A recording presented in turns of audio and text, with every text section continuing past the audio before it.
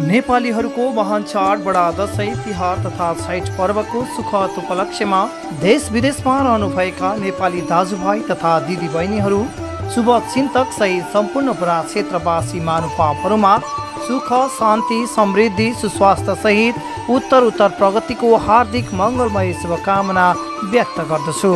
साथै आफू तथा अरूलाई पनि सुरक्षित राखी उल्लासपूर्वक चाडपर्व मनाउनु हुन नेकपा एमाले क्षेत्र नगर कमिटी सम्पूर्ण क्षेत्र नगरवासीहरूमा हार्दिक अनुरोध गर्दछ।